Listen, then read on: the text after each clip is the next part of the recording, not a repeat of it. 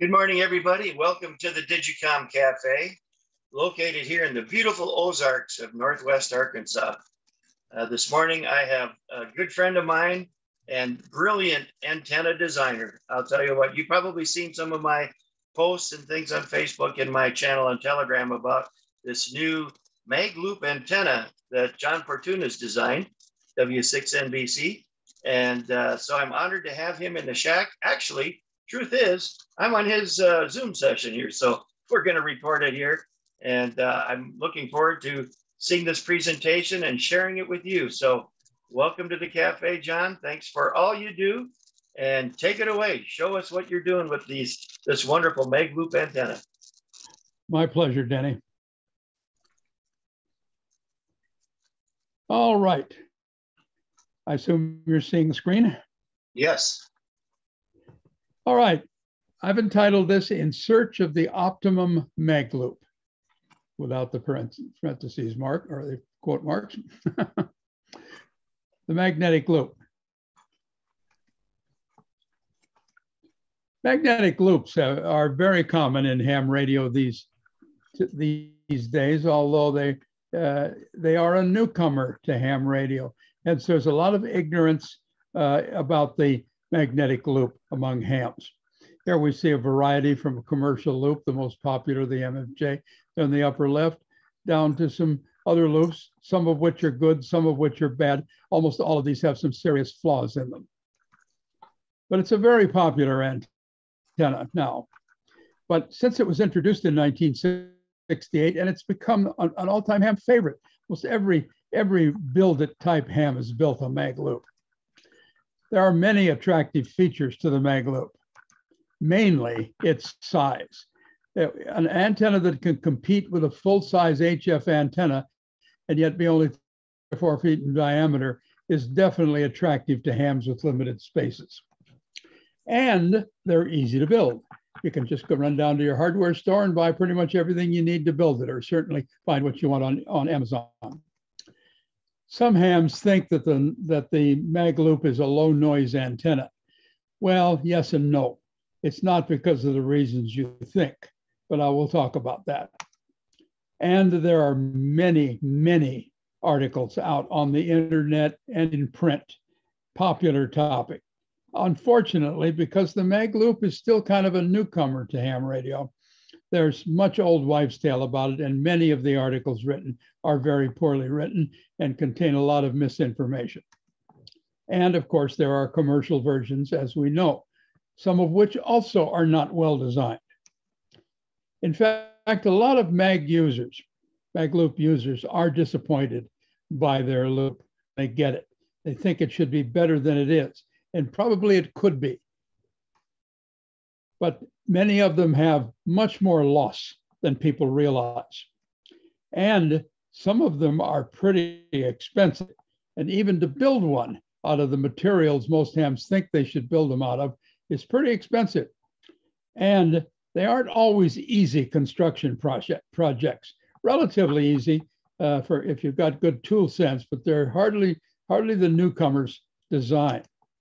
And once you get it built, what are you going to do with this great big awkward loop in your back in your back garden because staring over the fence is the inevitable neighbor. Don't put that ugly thing in your backyard near my backyard.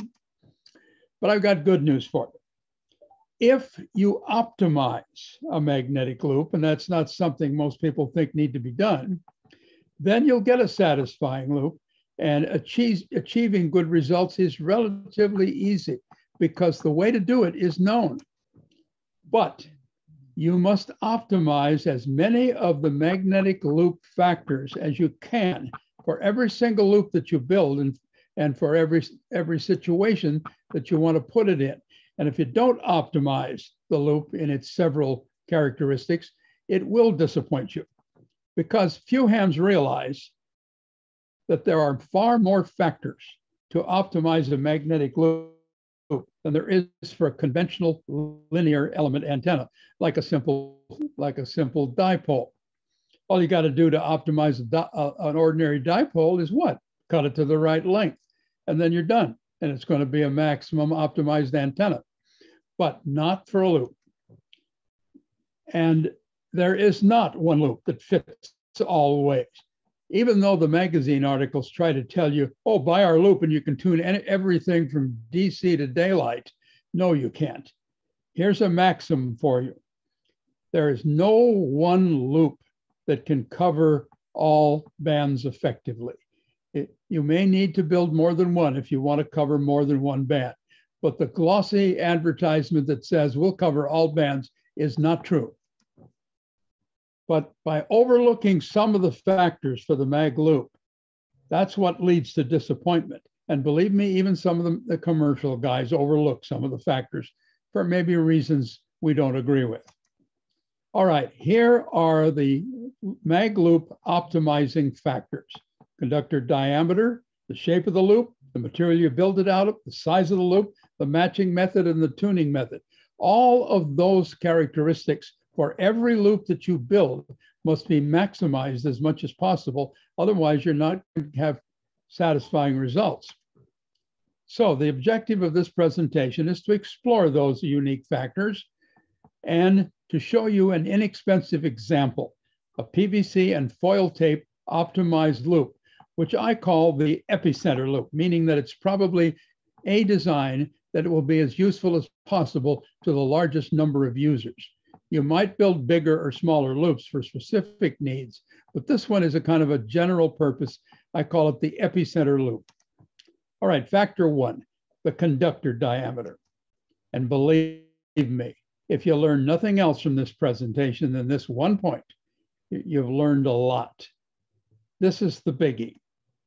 And here it is as a kind of a maxim. Mag loops must have big conductors. There's no way around it. It's basic physics. Here's a typical three foot magnetic loop. I chose this, I chose this size because, and shape, it's a round loop. I chose this size and shape because it's pretty typical of a lot of loops you see built in off from articles or commercial loops. But look here on this graph. I did a careful study and evaluated the efficiency of a three foot diameter circular loop made out of four different sizes of conductor from AG10 wire, which some hams might think, oh, I can do that. I'll put it inside of a PVC frame, up to inch and a half diameter for a three foot loop. I also show the red line. This is the most popular commercial loop, the MFJ loop. And then some hams think, because a lot of articles suggest it, that you can build a good loop out of RG8 coax. No, you can't. Take a look here at the, this chart, which shows you the efficiency of every one of these choices from 100% to 0% for over the whole range from zero, zero frequency up to the top of 10 meters. And it shows you where we enter the low efficiency zone, which is the pink zone here. I've set it arbitrarily at 50%. A 50% loss in, in performance is a loss, but it's only one S point at the receive end. That's probably tolerable. Below that, loss becomes unacceptable. But notice the frequency at which these various diameters of the conductor, which is point number one here, loses the ability to be at least 50% efficient. An inch and a half pipe for this loop will get you down to about eight, nine megahertz. The commercial loop will get down to about 11 megahertz minimum. That's why MFJ advertises this as only going to 14 megahertz. It's the MFJ loop does not does not go to seven megahertz or below. It can get it down there with a tuning capacitor, but the efficiency will be utterly terrible. And notice notice the RG8, which a lot of people think is a great thing to make a loop out of. No, it'll only go down to about 17 megahertz. Anything below that, your loss is too much. And of course, nobody's foolish enough to make a mag loop out of 10 gauge wire because there we're up about 25 megahertz is the lowest you can go before the loop goes in the dumper. Here's, a, here's another similar graph. This is the one I did now for the example loop that I'm going to show you here in a minute or two, a couple of minutes anyway. And you'll see it's a little bit better than the three foot three foot circular loop. This is a four foot square loop. And you'll notice that the four foot square loop, if you make it out of two inch pipe, will make it down to 40 meters uh, with an efficiency of 50% or better. RG8 will make it down to about uh, 11 megahertz, and 10 gauge wire won't make it down uh, to uh, more about 16 megahertz. Clearly, a four inch square loop needs to be made out of two inch pipe. There really is no choice. Here's the 50% mark, where the efficiency is too low for practical use for most users.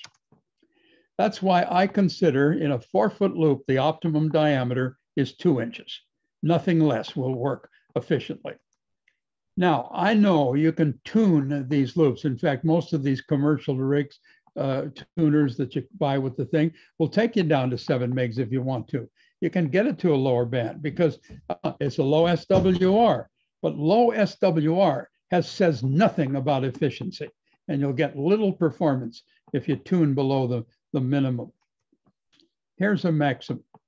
No mag loop can effectively work all HF bands. Never forget this. Don't go out and pay $800 for the top, the top brand of commercial loop and think you're going to work all bands with it. You're not. You're only going to work 20 meters to 15 meters. Other than that, its efficiency goes to heck. Here's the MFJ loop. It has high loop, high loss below 20 meters and nothing on 10 meters and it costs $700. Here's the actual loss figures for the magnetic, for the MFJ loop, showing you that it's only reasonable from 15 meters to 40, uh, and, and down to 10 meters, maybe at a stretch, seven, seven megahertz. So point number one, optimization number one, diameter, and this is the long one, and this is the most, but it's the most important one. High loss due to small conductors is the chief mistake of all magnetic loop builders, including some of the commercial designers. Why? Why does a mag loop need big conductors? It's simple. Skin effect. Skin effect doesn't use the center of the conductor. You haven't got a lot of conductive area except in a big diameter pipe. You've got to make the pipe big so that the amount of conductive area on the surface is big enough to keep the efficiency up. It's just simple physics. But why is that bad? Well, it is because of efficiency. Power lost compared to power radiated. Here's a little diagram of the circuit of all antennas, four elements, the two reactances, inductance and capacitance, and two resistances, two real resistances measured in ohms. Conductor resistance, that's just the simple, simple ohmic resistance of the conductor, and a thing called radiation resistance. What's radiation resistance? It's just the loading of space on the antenna. It's the place where your power goes. These two guys use no power. These are the guys that consume power. And it's a ratio of these two that determines efficiency. Conductor resistance is the bad guy. What does it do? it converts your transmitter power into heat. And if the conductor resistance is high in an antenna, most of your power goes to heat, and that's not making contact. It's the radiation resistance that does the work. It's what makes the radio waves. So in any loop or any antenna for that matter, the radiation resistance needs to be high and the conductor resistance comparatively low. That's hard to achieve in a magnetic loop unless you make the conductors very large in comparison to the diameter of the loop.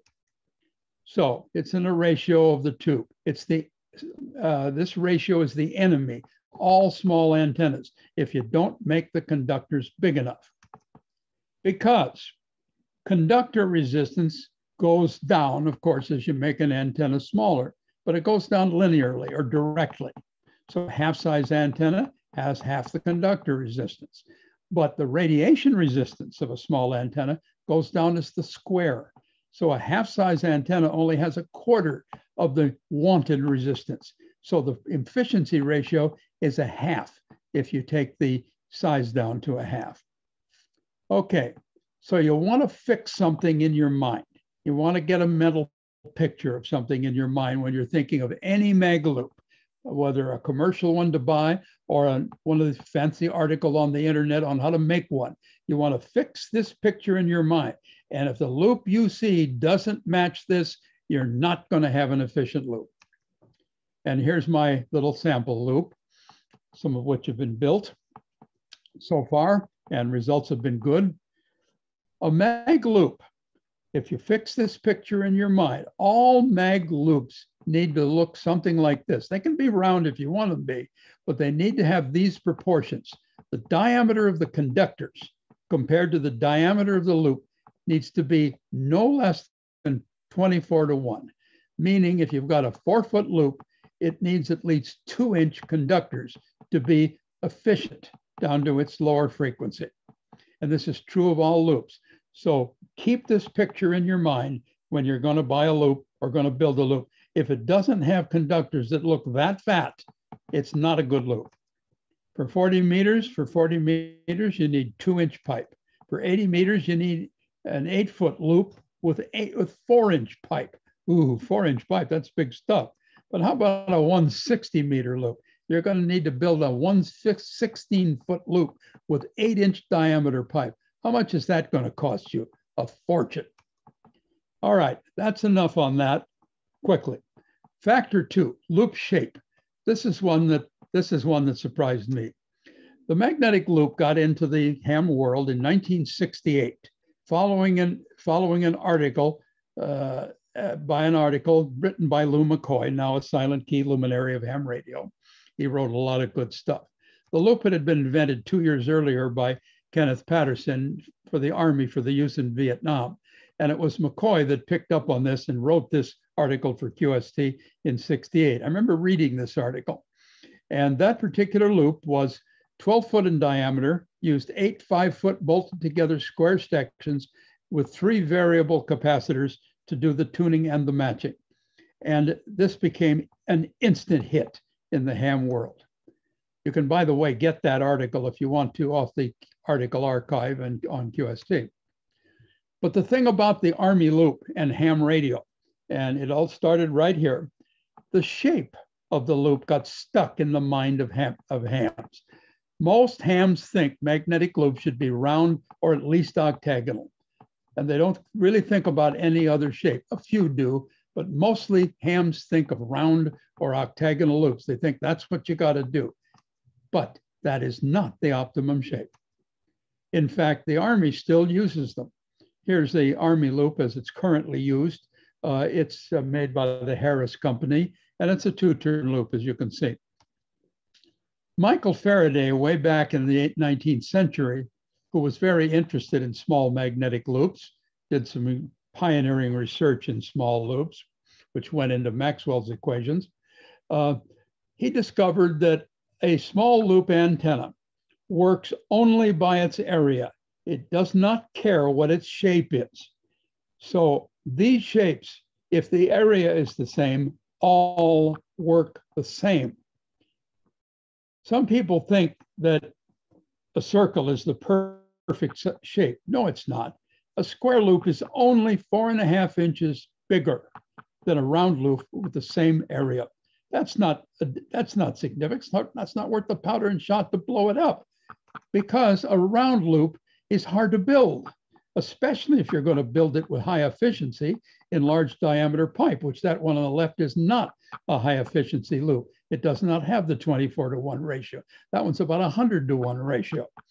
And there's the octagonal one, again, with the conductors too small. And, uh, and of course, made out of copper pipe. It's dreadfully expensive with all those uh, elbows. Octagonal, expensive elbows. Frankly, optimizing the mag loop is to make it square. That one on the right is at least a square loop. It's at least optimized in that one way. And to me, it's the optimum shape for all magnetic loops. Don't bother with round or octagonal, make them square. Factor number three, the construction material. Everybody, pretty much all hams know what skin effect is. It's the fact that the RF current runs on the surface of a conductor. We've already talked about this a little, but there's no, no current on the inside. of the conductor. And this one is a pretty good picture of the where the RF current is in a round conductor. There's nothing on the inside, but that's an advantage because the center of the conductor isn't needed. We could use a hollow tube and it will still work as well. Or we can use a plastic tube and put aluminum foil on the outside of it. Because look at how thin the skin is. On 80 meters, it's 1.7 thousandths of an inch in aluminum and 1.4 thousandths of an inch in copper. Not much difference, but pretty, pretty, pretty small, isn't it? That's thin.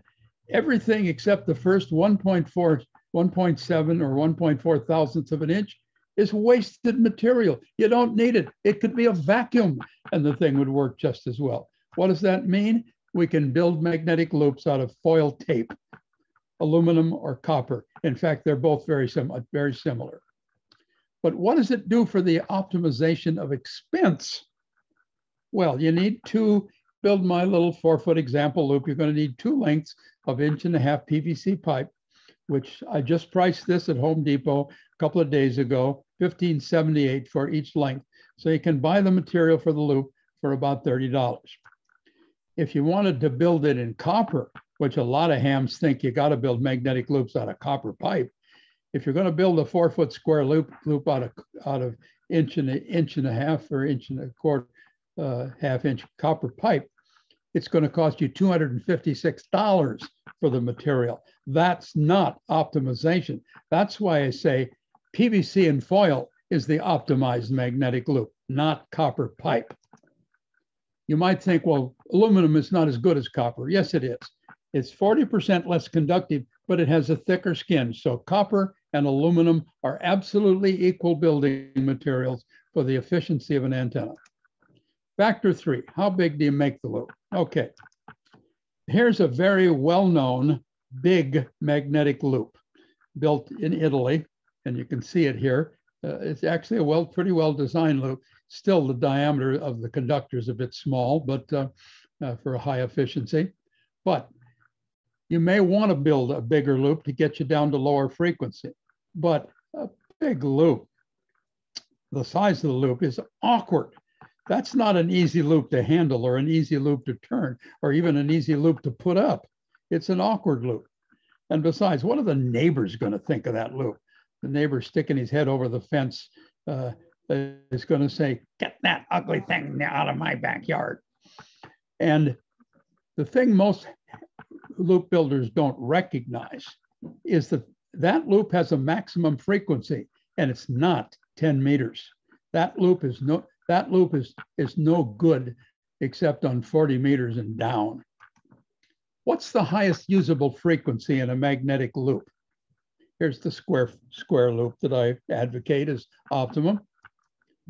That loop has a natural inductance and a natural capacity, even without a tuning capacitor. It's the self-resonant frequency of that loop. Make a loop, put a, put a gap in the top of it, feed it in any way that's, that's a good way to feed it, and then hook your analyzer on it with no capacitor at all, and you'll get a big, strong dip. That's at the self-resonant frequency. That's the highest frequency that that loop can be used. So the particular four foot loop that I'm showing has a natural resonant frequency of about 31 and a half megahertz, meaning if we can get up to 10 meters with a four foot loop, can't get to six meter with it. I don't care what the ads say, they won't go there. The top frequency of a magnetic loop is determined by its self-induct, self-resonant frequency. So on 30, 32 megs for a four foot loop, which will get you to 10 meters, 16 megs for an eight foot loop, which will get you to 20 meters maximum, and a 16 foot loop, which will, which will only let you go to 40 meters maximum. That's approximately what that Manzioni loop that I showed you previous slide will go to. There's another size limit which some, some hams get all worried about and they're afraid to depart from. They believe the, the thing that gets pumped out on website after website, and believe me, it's not true, that a loop must be less in size, less in circumference than a tenth of a wavelength. That is not so, and I'm going to show it to you. And in fact, they even give you dire warnings. If you buy, if you buy a mag loop calculator or get a copy of it uh, off the web, which is free. Uh, they'll tell you don't make it bigger than, and they, they say 0.33 in circumference, but uh, and most sites will say 0.1. Is this true? Do you need to keep your magnetic loop smaller than a tenth of a wavelength in circumference? No. Faraday, uh, one of the reasons they one of the reasons they they think it, it's true is because they think a, a magnetic loop is insensitive insensitive to to vertical polarized signals. Well, it is, but only in the local near field, which is relatively small. It will have nothing to do with getting rid of the noise from the power lines that are three miles away from you. It's as, it's as noisy an antenna as is a dipole. Interference must be within the near field. And for 80 media, this is only about 200 feet. All sizes of magnetic loops, from very small to very large, will work. But a lot of people, uh, I, I, one of my lectures, guy said, well, you don't want to make it bigger than a tenth of wavelength because you'll get rid of that those beautiful nulls that you can use to that you can use to null out noise with. Well, here's the radiation pattern of a tenth wavelength loop showing you the showing you the radiation pattern, and you can see the gray nulls that exist. The vertical is the red, the horizontal is the green, and by the way, it has double polarization. Uh, that's typical of most square loops. Uh, but you see the nice, neat nulls? A lot of hams think if you don't make it a tenth of a wavelength, it's going to lose those nulls. Will it? Okay, let me show it to you. I did a workup on this one. Here's a loop at a tenth of a wavelength in circumference. Here's the same loop at two tenths of a wavelength in circumference. This is a four foot loop, by the way. I mean, no, this would be an eight foot loop now. But anyway, if you make a loop two tenths of a wavelength in, there's the radiation pattern. Where the nulls? They're still there. They still look the same. Here's a loop that's three tenths of a wavelength in diameter. Are the, are the nulls gone? No, the nulls are still there. You can build a three foot loop and use it as a noise canceling loop just as well. A four tenths loop. Where are they? How come the how come the nulls aren't going away? As a lot of people say it will happen. It what doesn't happen. Here's a half wavelength diameter loop, still has the nulls.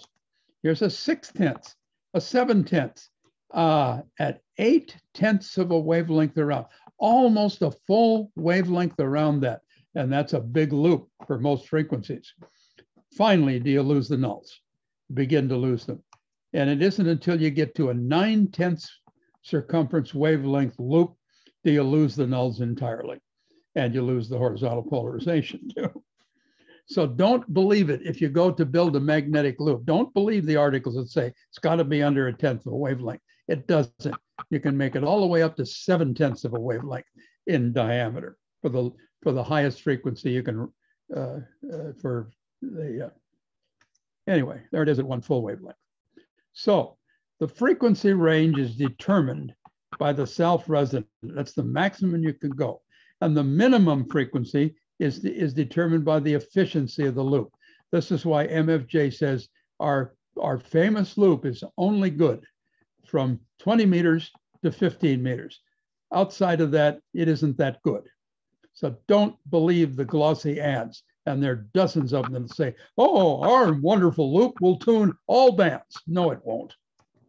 No mag loop can work all HF bands all of them must have fat conductors and must be the right size. All right, here's my loop. Here's a, here's a sort of a drafting of it. You can see what it looks like. I've made it shortened here with the ellipses in there so that you can see the details of it. All built out of PVC pipe, inch and a half PVC pipe, covered with aluminum foil, including the including the corners. You have to cut the corners in half uh, vertically, so you get two two half shells. And as uh, my good buddy uh, W6OK pointed out, you put the aluminum foil on the inside to maintain the con conductivity of the loop. And there's the matching network at the bottom made of three pieces of half inch aluminum tubing flattened on the end so that they can be bolted together. They're fed from that uh, PL SL239 jack there with a couple little short pieces of wire, and then over to a host, a, a, a, a U-bolt uh, on the uh, on the main loop. With this particular matching network, you can match it anywhere you put this loop. You, do, you might think there, where's the tuning capacitor? Oh, it's there. And here's the loop, the actual loop in my backyard. How about putting the tape on? This is a little tough. I'll, I'll go quickly through this. Take a piece of the four inch wide tape uh, and fold back about an inch on each end, remove the, remove the backing and stick it down onto a piece of carpet and then remove the rest of the backing uh, so that you can expose the glue and then very carefully push your pipes down onto the onto the aluminum foil. Yeah, it's pretty tough to put this on. Don't try to do it any other way or you'll get it all wrinkled and crinkled. Do it this way and then you can get it pretty good. Because as soon as you get that pipe onto the loop, you can't move it after that. Then you roll it back and forth to get it started. Then you snip the ends off and roll it on completely and you'll get a nice application of the aluminum or copper tape if you're if you want to spend the money for copper, which you don't need to. Inside the elbows, you need to cut yourself a little a little L of the aluminum tape, still with the backing on it. And uh, I found that it helps if you make it at a slight angle, 100 degrees instead of 90 degrees. Then by a little bit of careful application, you can you can slowly remove the backing and stick it on a bit by bit until you get it all pressed into the all pressed into the elbows. And this is what it looks like with the aluminum tape all pressed into the elbows. The pipes themselves have tape on the end of them. They come in and they mate with those, those half circles that you see there on the end and make a good contact at the end. And you hold the and you hold the two halves halves of the of the of the elbow together with sheet metal screws or bolts if you wish.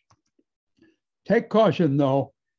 Be careful when you're putting that foil inside the, the elbows. Be careful not to split it as you go over the sharp edges. Be, uh, do not split the tape. It splits pretty easily. All right, the tuning capacitor. Here's my current version of the tuning capacitor.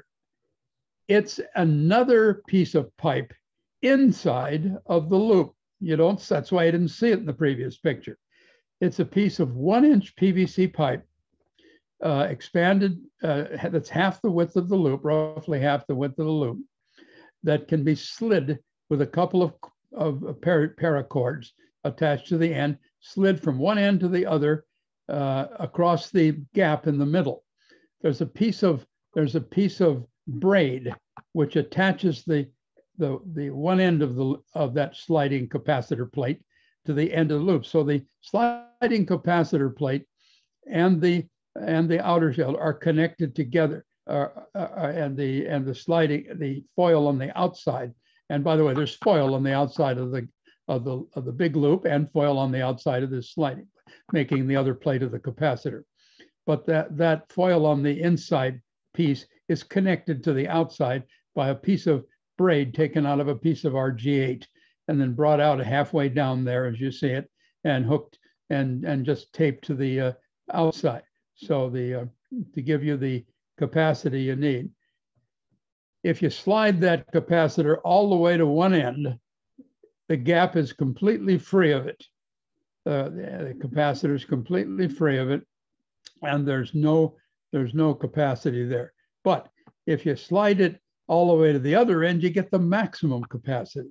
This capacitor will tune this four foot loop that I'm showing you anywhere from above 10 meters to below 40 meters. So, and you can just do tuning just by pulling the wire. How much is this going to cost compared to a vacuum variable? How much is this going to cost compared to a big rotary capacitor, which by the way, has high losses. So uh, it's going to cost very little.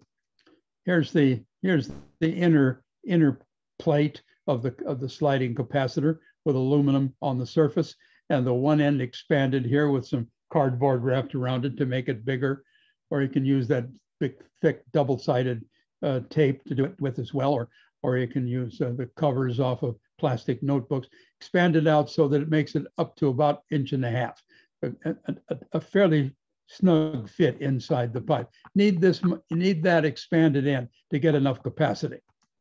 And here's some actual graphs that I took of my, my loop showing you the, the, the tuning when you got it slid to one end on the right, it'll tune well way above 10 meters. So your maximum frequency is above 10 meters, which is the gray area here.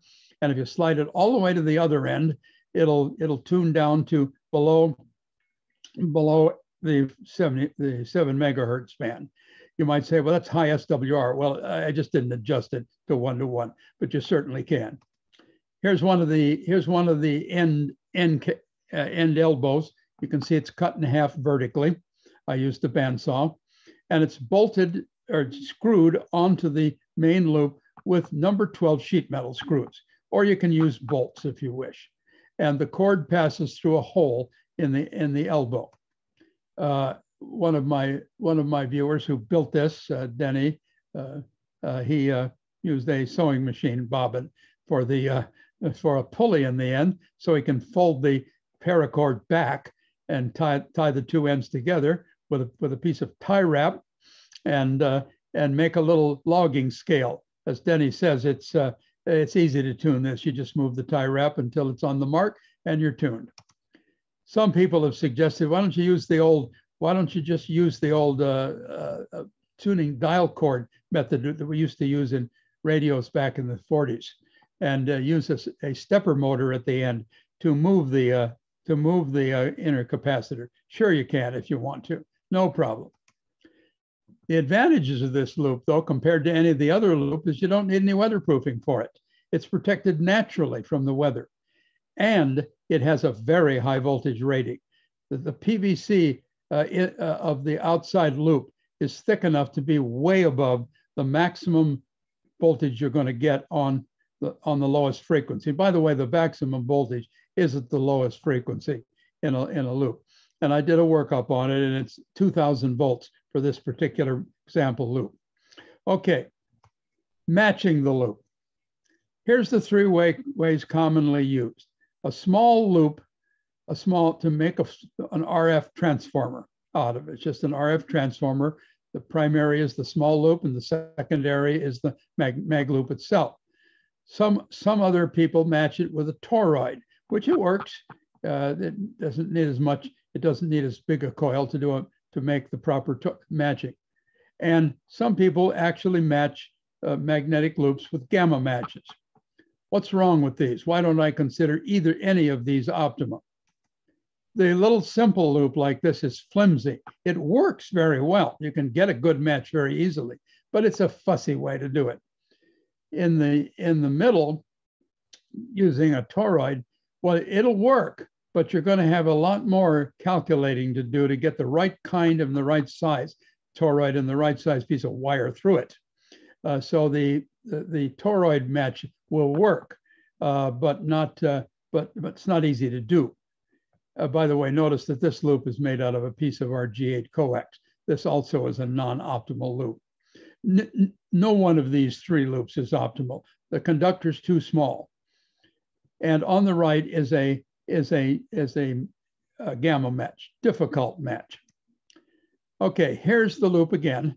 And here's the equivalent circuit of the match that I, I like to use you can see it's an RF tap transformer. The coil and the capacitor on the right is the, is the main loop. And the little adjustable thing on there seen on the loop is just the tap of the coil. We're all familiar with this technique of matching the impedance of a tuned circuit this way, and it works very well. And with this particular setup here, with that stainless U-bolt, if you need it, you may not need it, but uh, if you have it, and with uh, three 14 inch long pieces of uh, half inch pipe flattened at the end for bolts, you can put this loop anywhere you want it and you can get it into tune. So the universal optimized loop, or what I call the epicenter loop. Uh, yeah, of course, you might build bigger ones for lower frequency. You might build smaller ones because you only want upper frequencies. But the kind of universal loop, in my view, it, the conductor diameter is two inches. The shape of the loop is square, not round or octagonal, uh, and it's four feet on a side. Actually, I find it's about 45 inches on a side to get enough to get the highest frequency. And the material, make it out of aluminum or copper foil tape on PVC pipe because you don't need the copper inside of the pipe. And to tune it, match it, do it the way I showed you. So if you build one of these these optimized loops, send me some pictures. I, I love them. Denny, uh, your host uh, for this uh, presentation, uh, K5DCC, made the first contacts with the loop. this I, I, said it was FT8. It's not. I think you did it on WSPR, didn't you? Anyway, yes, yes. He, made, he, made, these contacts, and I was quite impressed.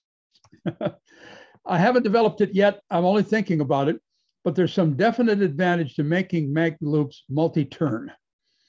If you make them multi-turn, as you see here, and this is an EZNEC uh, uh, simulation of it, with the one with the one turn made a bit higher so that you can get over the top of the other two, barely see the gap in it.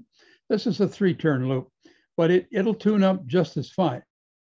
The advantage here is the radiation resistance, the good guy, goes up as the square of the number of turns. So, uh, so a twice diameter twice uh, a two-turn loop would have twice the efficiency of a one-turn loop. A, th a three-turn loop will have three times the efficiency uh, as as a as a one-turn loop, because the conductor length goes up as directly, whereas the efficiency goes uh, the radiation resistance goes up as the square. Therefore, the total the total efficiency for a one-turn loop is twice as great for a two-turn loop and twice and three times as great for a three-turn loop and so forth. And and you but by the way, you need to make them an odd number of turns so that you get a good easy match. The matching doesn't work well with an even number of turns. You can do it, but it's more awkward. And that's it. You can get um, you can get to me with that with that QR code there at the upper right or there's my email address, uh, jportune at AOL.com, or you can go to my website, w6nbc.com, and reach me there. And this is my little dog, doggy Lolly. She's a Shih Tzu. No, she doesn't have a German call sign. I just like to pretend that she does. And that's all, folks. oh, that's great. Well, I'm thrilled with your design, and I've had a lot of fun building my own. I started out, as you know, with four foot one, and I didn't even have your plans. It was just listening to you in our sessions here, and I was blown away with how efficient it was. Well, then, as you know, I like to go portable.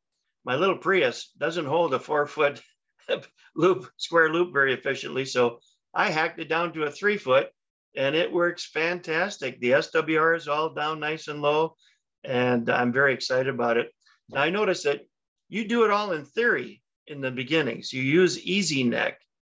Uh, explain a little bit more about how EZNEC works. I've taken a look at it, and it's it's very confusing to me. yes, there is a pretty heavy learning curve, but there is for any one of the several available uh, antenna modeling programs, which work on NEC modeling, numerical electronic code modeling.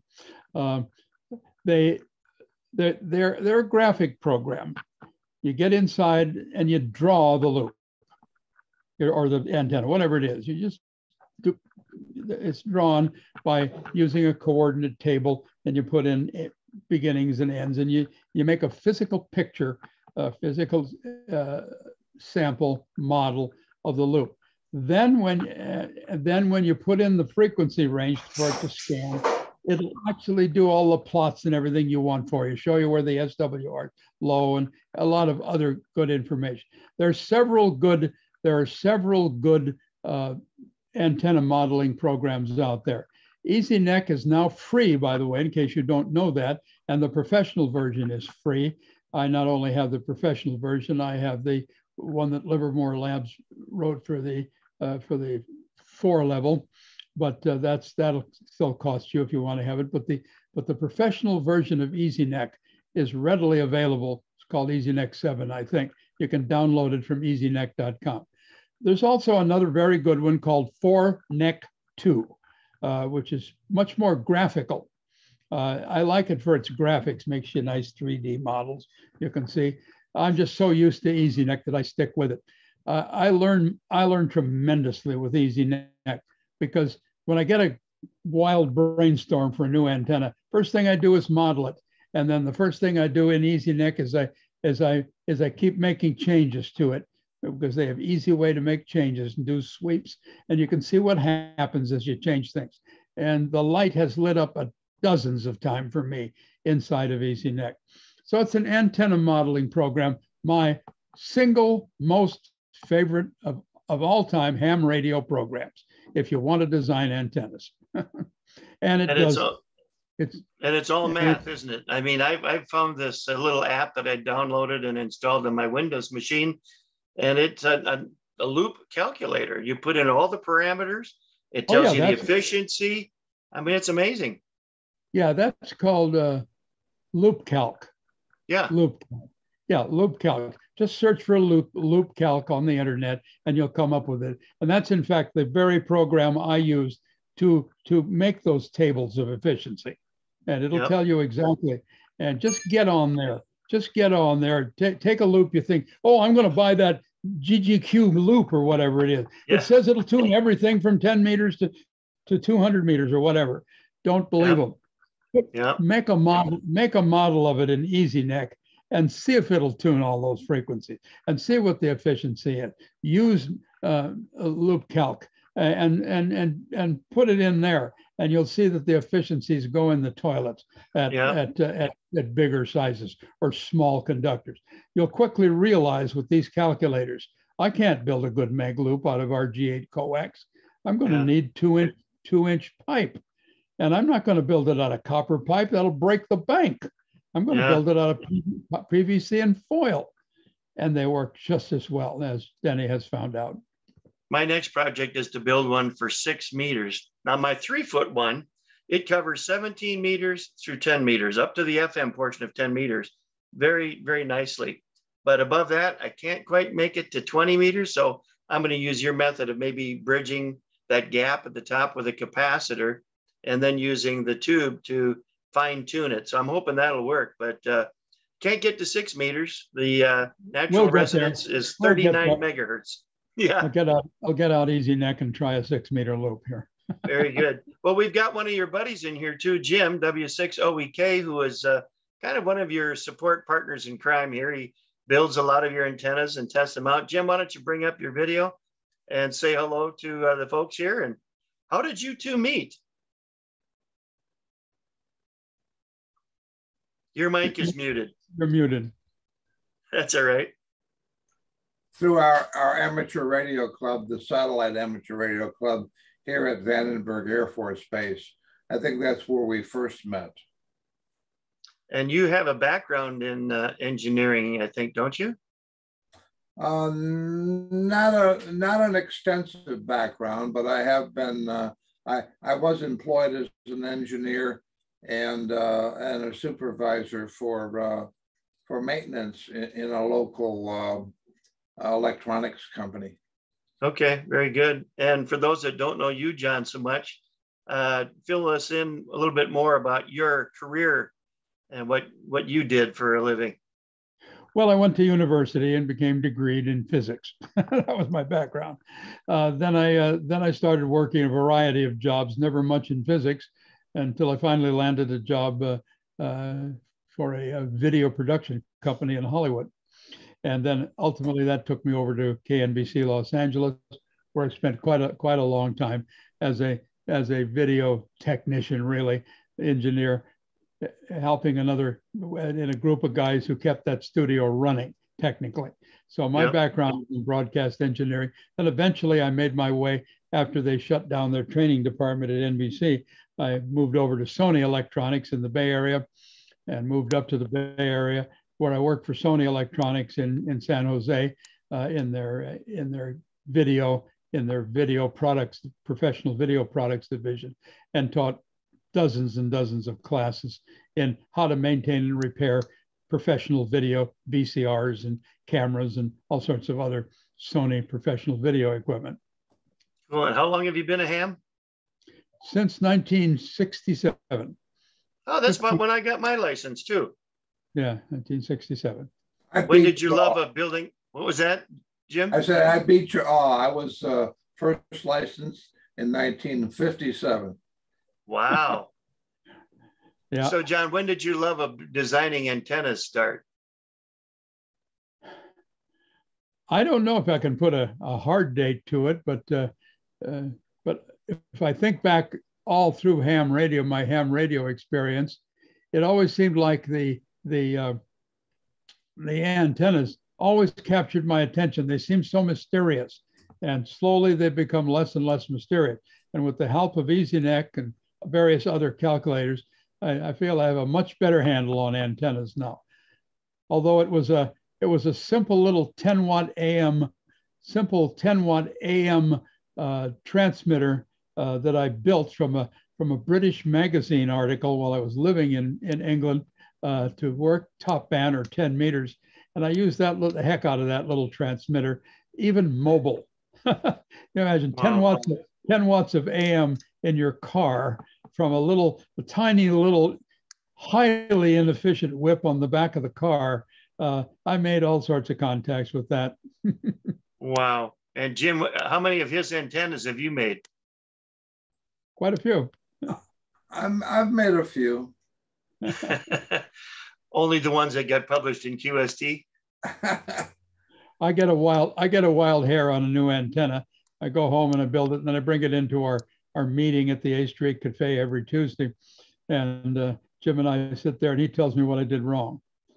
then I go back and then I go back and, and do it. Oh, we got there's another very highly uh, educated fellow there too, W2 W2DU, who is a wonderful uh, physicist type, and he tells me a lot about it, gives me great ideas. And this this this optimized mag loop has got ideas from all three of us in it. That's awesome. That's awesome. Well, you've had several articles published in QST. How many of them and how many were rejected? I've had 29 published, and I think 16 rejected. So uh, we should uh, so I understand now from our session this morning, you have plans of maybe putting it all together in an ebook, all of them? Yes. Well, as we all know, and I'm, I'm a very dedicated member of the ARRL, but uh, Newington is conservative. That's where the part of the country they're from. And they, they don't publish anything that's uh, a little off the edge in terms of uh, a little bit strange. They want nice middle of the road, uh, you know, you know, blue and apple pie uh, antennas. So uh, some of these off the wall ones that I have that they've rejected, including one Jim and I just just finished. He did most of the work on it on a 10 meter uh, mag loop, a, a, slot cube, 10 meter slot cube. Uh, they didn't accept it either, and we were surprised. Uh, but I think I'll, since I've done so well with the uh, Kindle ebook on slot antennas, which is readily available, slot antennas for ham radio. I'm going to now do one on all of the all of the rejected articles from QST. and yeah. some of them are lots of fun, as I was showing you earlier this morning. A, a Lincoln hat is an actual yeah. antenna, and, and a couple of interesting spoofs that they wouldn't publish. Only had one spoof ever published in QST, and that was on Monax, monodirectional coax. well, I tell you what, uh, my first introduction to you and your work was at the slot antenna with aluminum foil tape. And I've still got mine right up there in the window, put on plexiglass. Oh, and yeah. I haven't got anything that outperforms it. And it only costs pennies. it only costs pennies. Yeah, that's awesome.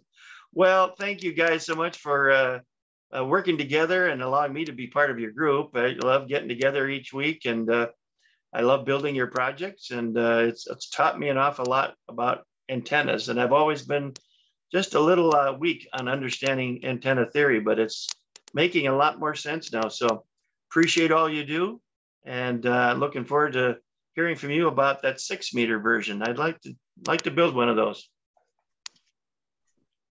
So we'll say seven three. And if you want to uh, follow uh, John and his work, uh, go to his website, which was shared earlier.